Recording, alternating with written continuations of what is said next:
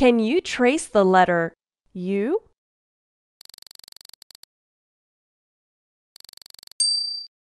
U is for umbrella. Uh, uh, uh.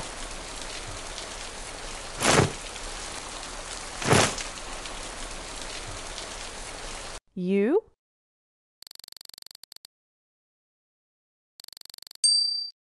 U is for umbrella. Uh, uh, uh.